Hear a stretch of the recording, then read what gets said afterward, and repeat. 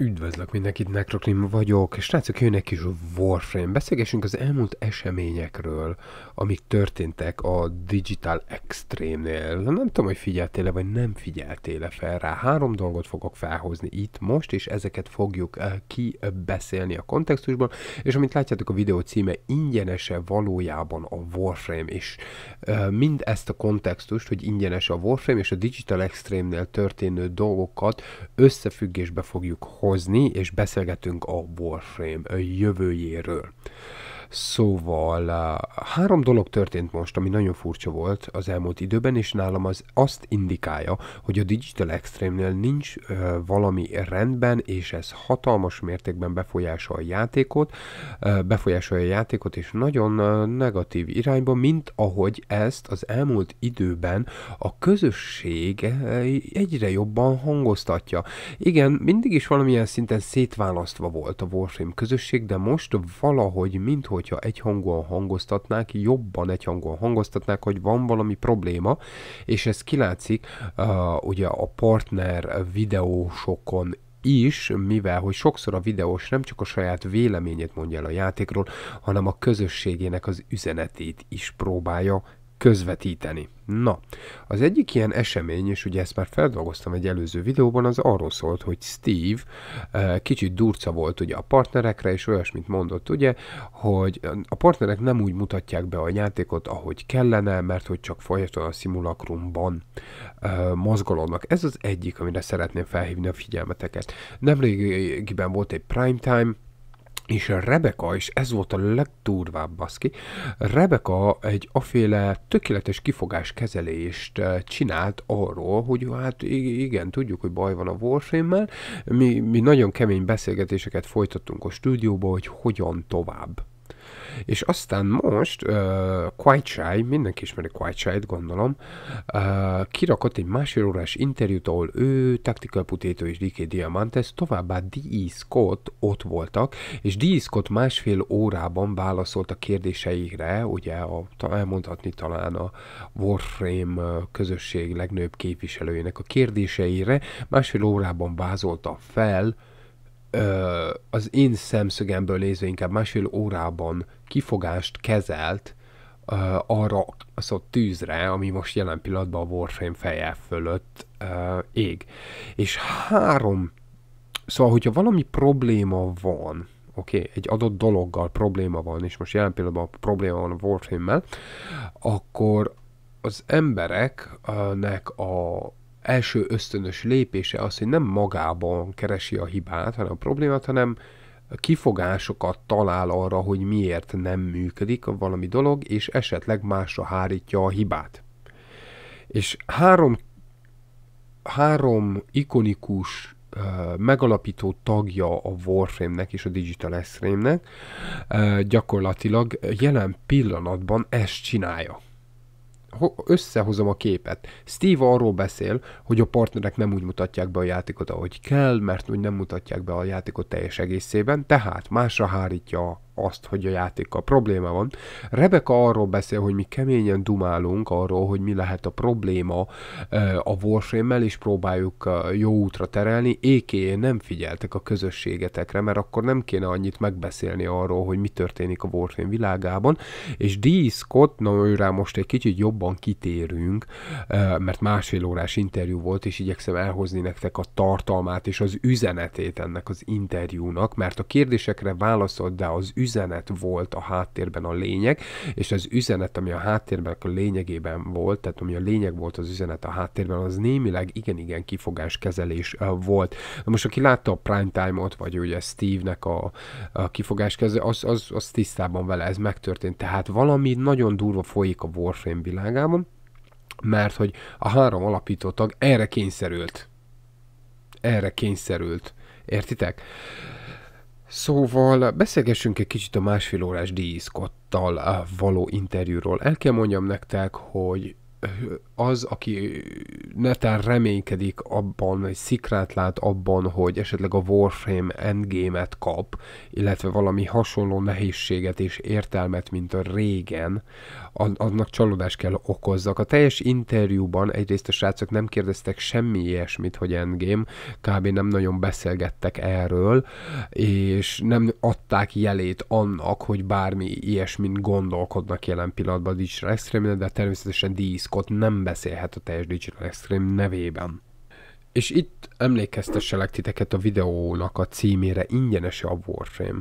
Az én szemszögemből nézve a Warframe nem ingyenes. Oké, okay, tudjátok miért nem? Mert a legértékesebb dolgot fektetem a Warframe-be, és az nem a pénzem, hanem az időm.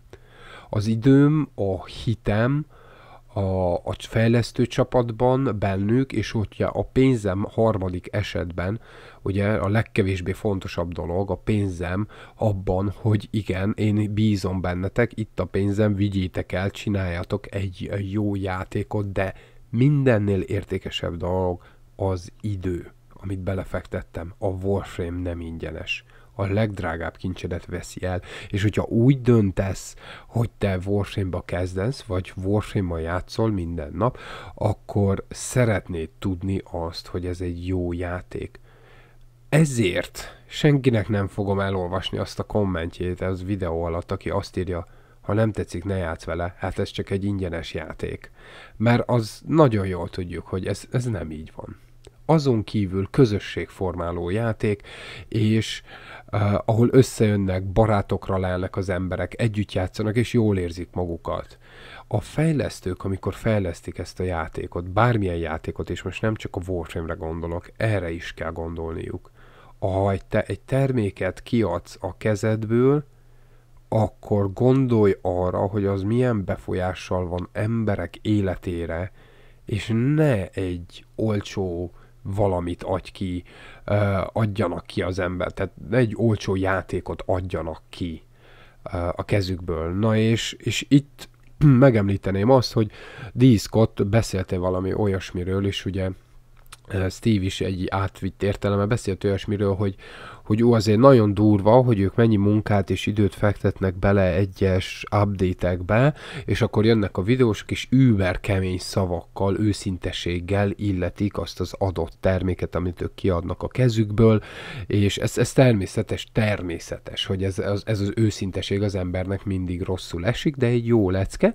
Csak így kiemelte Scott, hogy, hogy az, az azért ez, ez elég kemény, és letöri a munka morálját a, a, ugye a Digital Extreme-nél. Na most erre hadd hozzak fel egy ellenpéldát. Én egy olyan cégnek dolgozom, ami körülbelül a 110 százalékos embereket alkalmazza, hogyha szabad így fogalmaznom, és egyszerűen nem adja alább attól, hogy a leges, leg, leg, leg, leg, legjobbikakat alkalmazza az adott területen, amire szükség van, és ettől vált a világ egyik, nem a világ, hanem a világ vezető um, cégévé, aki tudja, kinél dolgozom, tudja, aki nem, nem, de ne, okkal vált azzá, az a cégé, amivé vált, mert hogy egyszerűen, ha arra kerül sor, hogy a, a vásárlónak az igénye uh, teljes mértékben ezt teljesíteni tudták, és ezt úgy tudták teljesíteni, hogy akiket felvesznek arra a cégre, azok, azok a legjobbak abban, amit csinálnak.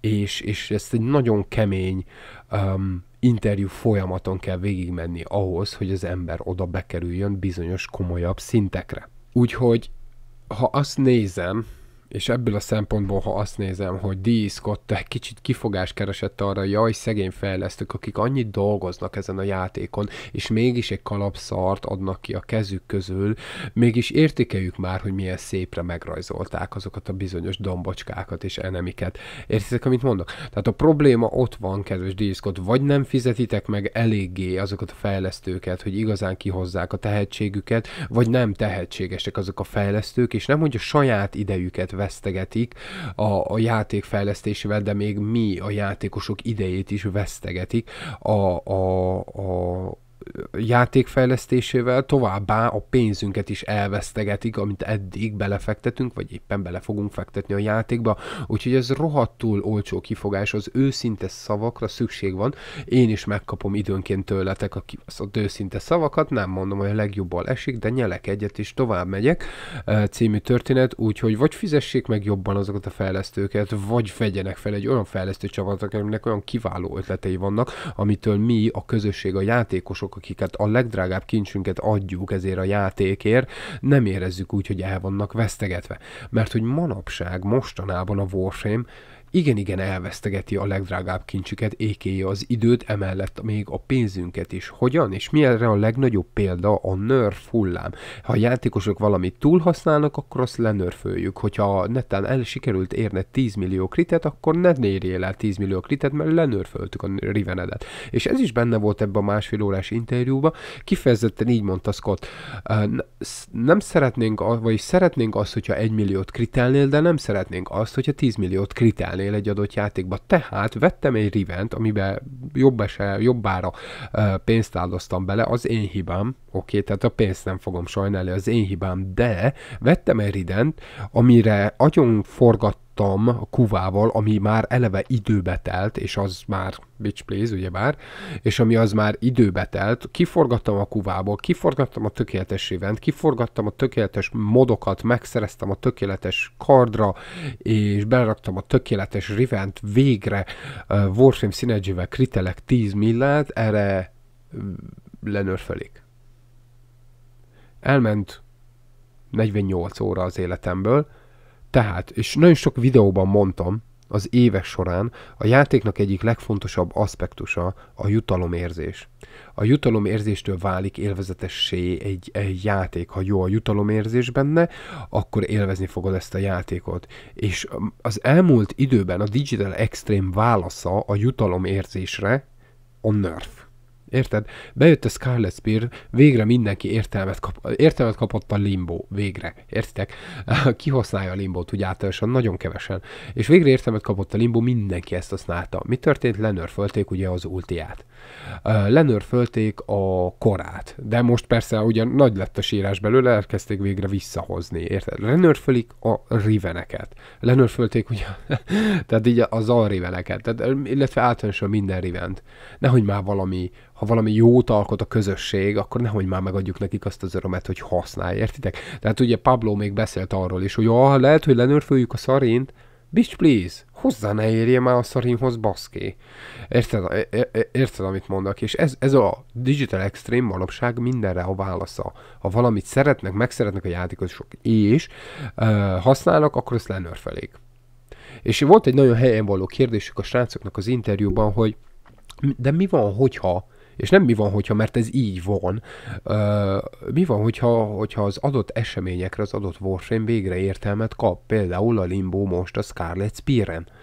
És, és utána úgy is letezik a játékosok, tehát véget ér a Scarlet, Spear, akkor játékosok le fogják tenni a limbót, és boldogságon le fogják tenni a, a, a zavjukat, le fogják tenni a redeemerjüket, a korájukat, bla bla bla, és minden meta buildet, amit kifejlesztettek erre a Scarlet Spear, a játékosok ott fognak hagyni, mert erre volt jó csak. Miért kell lenörfölni azt, ami csak arra az adott dologra jó?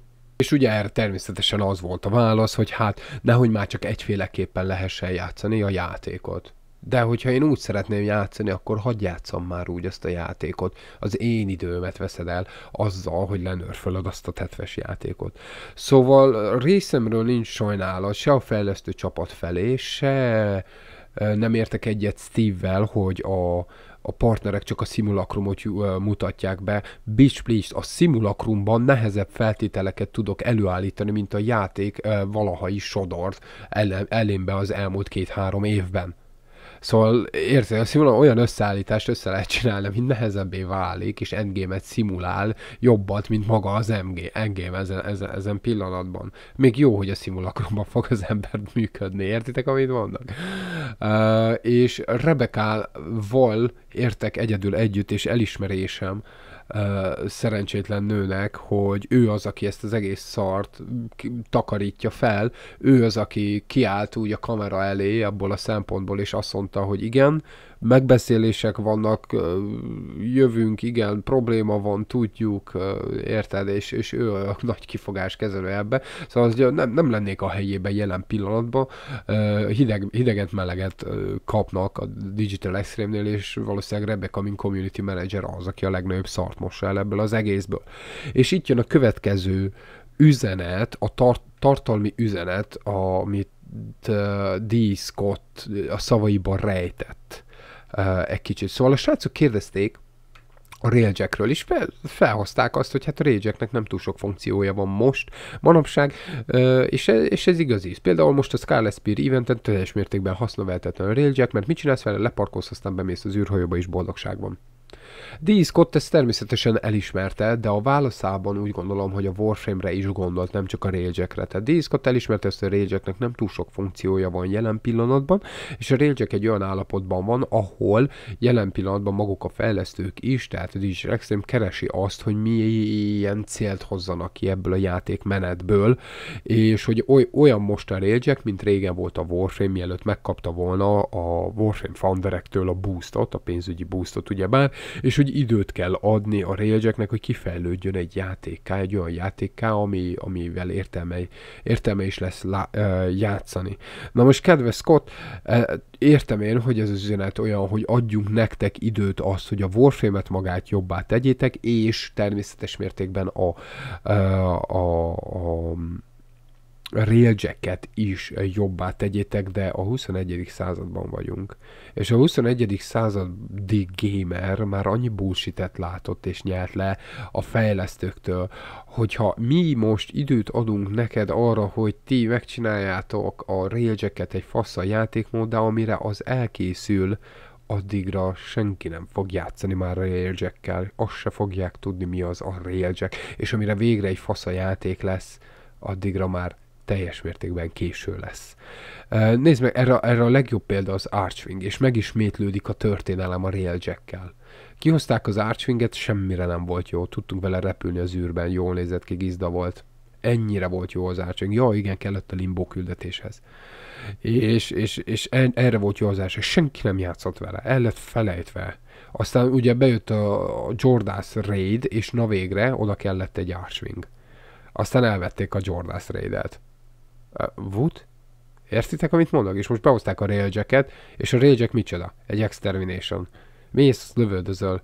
Miért? Semmiért. Hogyan? Merre? Hány? Meddig? Miért? Rendben van, rendben van, de akkor a Tenókonon nem kellett volna azokat a trélereket megmutatni, és új ilyen a Railjack, új ilyen fasza lesz a Railjack, új ilyen jó lesz a Railjack, akkor nem azt kellett volna bemutatni, és nem arra kellett volna ráhájpoltatni az embereket, hanem akkor a valóságot lekínálni, egyelőre ezzel látunk elő, aztán majd még fejlesztünk rajta.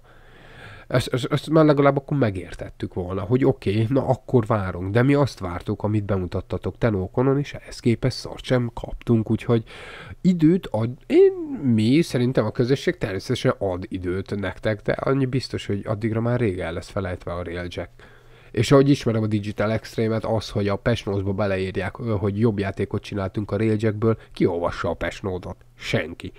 És, és, és nem promotálják egyáltalán a játékot az irányba, hogy ú, itt fejlesztettünk, és ennyivel jobb lett az a dolog, ugye csak a devstreameken, kinézi a devstreamet, hát nem túl sokan nézik meg a devstreamet, főleg a teljes hosszasságában. Uh, ugye bárja, gondolom a partnerek és egy-két érdeklődő játékos megnézi a devstreamet. Szóval uh, időt lehet adni, de azt hiszem, hogy a 21. században nem időt kell már adni, hanem maguknak a fejlesztőknek az elejétől a végéig egy becsületes játékot kellene kiadni a kezük közül. És ez az a, ami, amit kellene. Nem időt kellene adni ahhoz, hogy kihoztak egy szart, és aztán majd befújjátok parfümmel, hogy illatosabb legyen, hanem eleve egy, uh, nem kéne szarni kezik ott. Tehát a, egy értelmes játékot kellene csinálni ebből az egészből. Ami még lejött ebből a beszélgetésből, ami a Quajsáékkal történt, az az, hogy a Warframe jelen pillanatában ezen, amin az úton jár, ezen fog maradni, és nem feltétlenül akarnak tényleg egy ilyen uh, endgame-féleséget, vagy bármiféle nehézséget hozni, a, a játékban, amit észrevettem, az inkább a változatosságra fognak fókuszálni. Na most, hogy mire gondolok itt változatosság alatt, ha végig gondolod a játékot, most már többfajta képpen modolhatsz fegyvert, kardot, rengeteg Warframe-ban van Railjack, van Archwing, vannak a különböző küldetések, van Eidolon, Fortuna és Cetus, szóval ezt a változatos útvonalat igyekeznek meg őrizni, és hogyha endgame-et akarsz, akkor magadnak kell azt generálnod, tehát cél nem lesz, amiért magas szintekre elmenni, de ha akarsz, akarod, akkor ezt majd megteheted. De jutalmad nem igazán lesz ott. Tehát a szavaiból valami ilyesmi jött le. Jelenlegi fókuszuk a, azon van, hogy, hogy ugye jobban, jobbá tegyék a warframe-et, balanszoltabbá tegyék a warframe-et, és kiírtsák a metákat. És a Warframe-ben mindig is voltak meták, oké? Okay? sokszor egyetértek velük, és sokszor nem, de elismerem, hogy, hogy szükség van rájuk. D. Scott ebben az interjúban kiemelte, hogy nem szeretnénk az, hogy egy meta legyen a divat, mert azt szeretnénk, hogy minden Warframe-mel, amivel a játékos szeret játszani, képes legyen azt az adott küldetést megcsinálni.